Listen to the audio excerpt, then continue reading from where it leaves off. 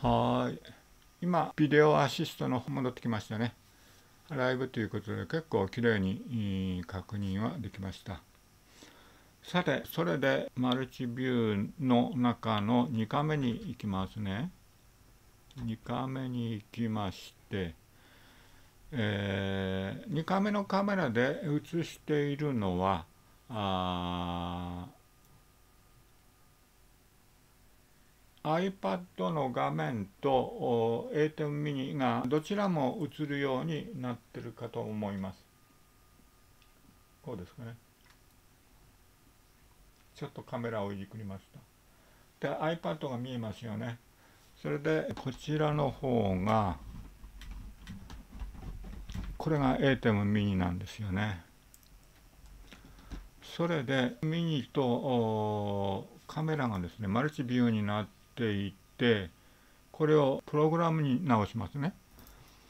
プログラムに直しますとこのスイッチこちらの方がいいですかね。今カメラがカムツカムツになってますよね。で、えー、これはプログラムビューで流れてます。これは GH4 という名前のもとで動いておりますよね。それで大事なことは赤がオンラインいわゆるプログラムです。でプレビュー緑がプレビューです。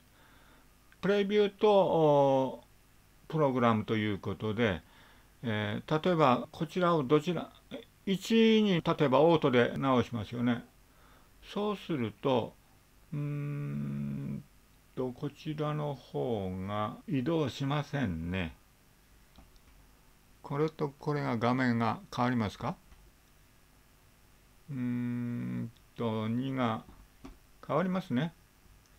えー、っと今 2, 2で、えー、なっていてこちらの方も赤になってますよね。1と2が明確になってます。それで、えー、例えば4にしますよね。4を押すとこちらの方も4の画面がプレビューという形で見えてきますんでここでオートをかけると今度はこちらの画面の4が来ませんか？4が来てま4が来てませんね。4の像は全体のあ来てますね。今4の映像でございますね。オンエアが映る画面。これが 5M2X のルミックスのカメラでございます。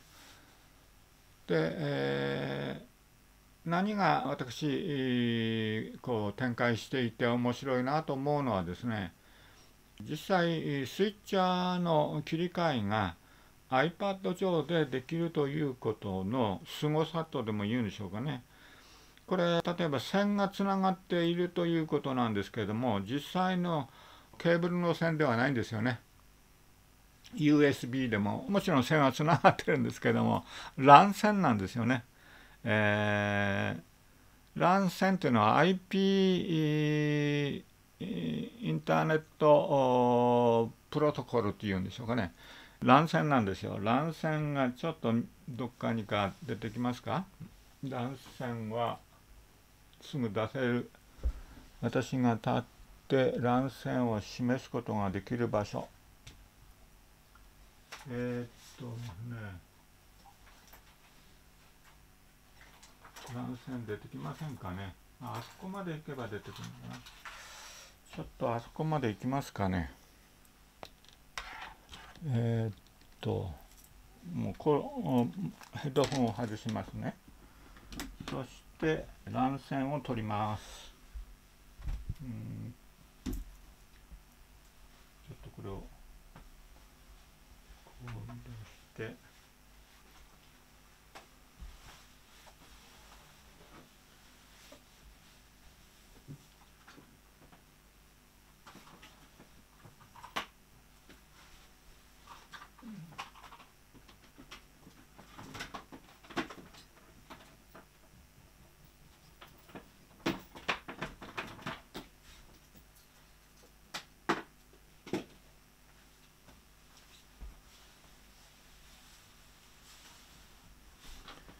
どのカメラで撮ったらいいでしょうかね。えー、っと多分ですね iPad の方がいいと思いますね。これで、えー、マルチビューに戻しますね。マルチビューに戻してそれで iPad のこれをブラックマジックのカメラに切り替えます。こう切ってこうですかね。はい。それで1カメに戻します。で iPad のカメラでごですか？よろしくお願いします。えっ、ー、とですね乱乱線なんですよ。乱線っていうのは皆さん見たことありますか？これですね。こっちがこういう形状になっていてこちらも同じですけどね。これは古いやつです。古いケーブルです。私は新しいケーブルは実際つけておりますんでね。これは古いケーブルなんですけれどもカテゴリーが5とか低いです。今6とか7とか7っていうギガベースで転送できるスピードのものになっておりますんで、えー、これは 4P24 エレコムのコードでカテゴカテゴリー 6A になってますかね。こっち側にこれ見ると。でこれでつながってるということは SD でもないし USB USB っていうのはこういうケーブルですよね。これは USB の C を使ってますけれどもこれは A です。これが C になりますけどね。A と C になっても A は遅いです。C が早いです。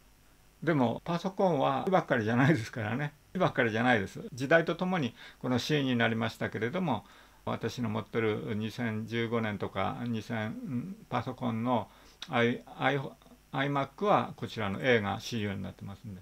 でこれとこれを A と C を挿しても問題なく差し支えなくデータは転送できます。で今話してるのは iPad と A 点ミニの関係。これがスイッチを押すこと A 点ミニの方のスイッチを押せば変わるよっていうことを実際やってるんですよね。はい。で、これでスイッチャーをこう今つながりましたね。で、カメラのこのカメラですか。このカメラがこうですね。で、このカメラが2カメなんで2カメでオートに切り替える。そうするとこちらが iPad でこちらがミニの実機実際の実機ですね。で実機を押すと 例えば今こちら1がグリーンになって2がレッドになってますよね。でさっきも言いましたけれどレッドはプログラム実際の映像を流しておる。グリーンが予備そのすぐ何て言うんでしょうかな本番に向けて待機してる状態ですよね。でこの2というのが iPad とこの A 点ミニプロを映していてそしてこれを切り替えることによってこちらの方も変わるということをやってみたいと思いますね。えー、っと今1と2こちらも1と2になってますよね。ちょっと地方が今の J で Windows っていうのがこの iPad になってるんですけれどもそれはさておいてこれを切り替えますね。そうするとこれも切り替わるしここも切り替わるっていうことをちょっと見てください。いいですか ?123 切り替わったでしょう。この1と2が1が赤になって2がグリーンいわゆるスタンバイ状態になってこちらがオンライン状態になっておるということがこれはこのコードでつながってるっていうことですよね。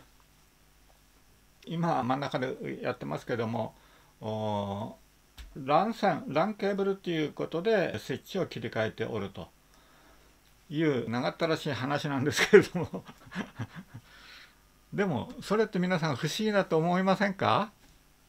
私は不思議でたまらない。これ乱線っていうのを作ったのは私でもないですしこう USB っていうのを作ったのも私じゃないです。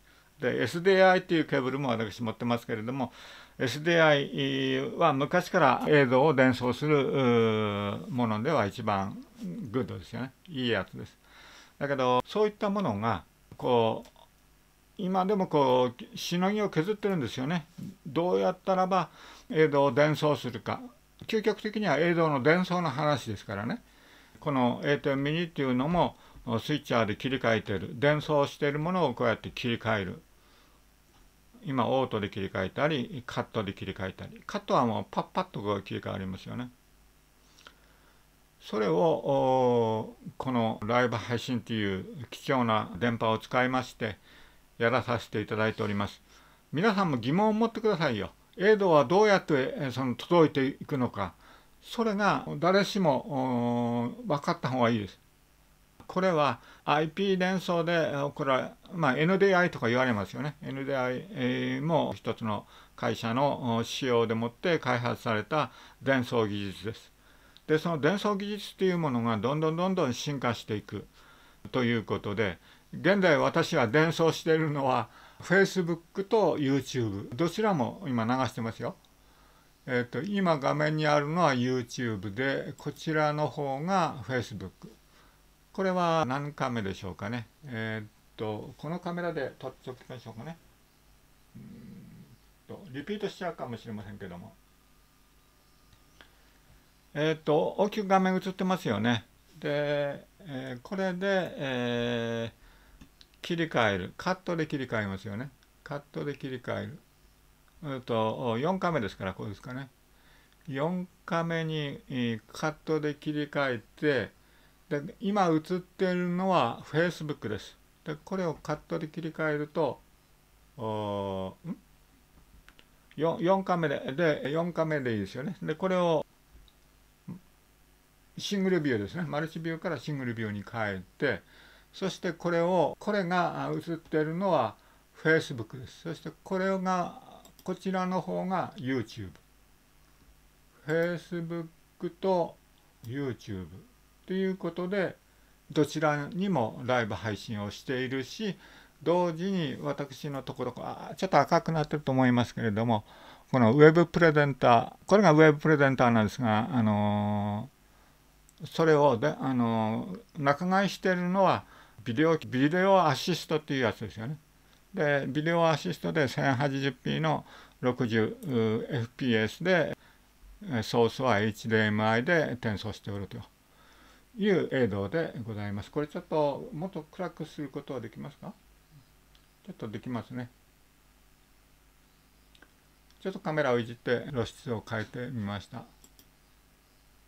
こちらが、あ you うんうん、これが Facebook ですねこちらが YouTube 今シングルビューにしてますんでこれはシングルビューじゃなくてマルチビューに変えると Facebook の方はこれがマルチビューで返ってきます。今日は長々お盆ですからね。長々とやっておりますけれども。どうでしょうか？マルチビューにマルチビューに変えてくると思うんですけれども30秒くらい、RTMP ですか？はい、戻りましたね。いうことでございます。いろいろとやっていますけれども、自分自身の勉強だと思ってトライをしておるということですね。まあ、今18分っていうような数字が YouTube の方には表示されてます。Facebook の方は後から始まりましたから、こうですね。でこれを切り替えてこうですねで YouTube の中での映像を今出力しておるということでございます。長々と取り込みや講演のバックにして、えー、の私拙いもう76歳から77歳にこの11月でなります。で毎日っていうか昨日は卓球やってきましたんでね。卓球やった日はやっぱりさすが疲れますんでえー、ライブ配信は行わないでただあやっぱりパソコンとルミックスのフレーマー用のことをやりましたよね。フレーマー用を接続してもう一歩というところまで行ってるんですけれどもうまくいきませんでした。でもカメラの方のセッティングの方はサポートを受けながらつながりました。結局暗証番号っていうところでどの暗証番号かなと思ったんですけどもその暗証番号もうまくクリアできました。暗号化キーですか。暗号化キーを入力するところでちょっととあのサポートを受けましたけれどもこの暗号化キーを入力して、えー、フレーム IO と接続してフレーム用のホームページのところで、えー、そのカメラ側で頂戴した番号をホームページの方に入力するとアップロードができると。いうところまでは行きましたけれども昨日は最後までは流れませんでした。でも嬉しかったですよ。その映像を送れるというカメラのフレーム用の接続までできるということが分かりましたんであとはフレーム用のホームページのやり方段取りですよね、えー、C2C っていうのかな？キャメラトゥクラウドっていうカメラからクラウドにアップロードするというステップを踏んだということです。まあ、あそれは長ったらしくなりますんで、また 私ができるようになりましたら、これも YouTube の方から見て参考にしてトライしたところがございますんで、そういったことで今日のライブ配信は限りなく IT IT というか、そうですね、 information technology ですよ。それと、何ていうか、あその伝送のことですよね。この LAN ケーブル、LAN ケーブルでもって伝送するのが今後は主流になるんじゃないかと言われてますよね。でも昨日やったのは w i f i でもってこちらのカメラこのカメラですけどこのカメラでもって、えー、ちょっとカメラカメラを映すのはどれがいいでしょうかね。これをこう向けるとカメラ出てくる？出てきますね。このカメラがルミックスのカメラなんですけどもこのカメラでもって、えー、w i f i でもって電波を送ると。ですから Wi-Fi ですから転送速度っていうのはもう限りなく低いですし、プロキシしか送れないんですよね。4K の中のプロキシファイルだけを、あのフレーム IO の方に送っていく。だけど、長いやつはどうなのか、やっぱり、Wi-Fi よりネットワークもっと転送速度の速いものっていうのは要求されますよね。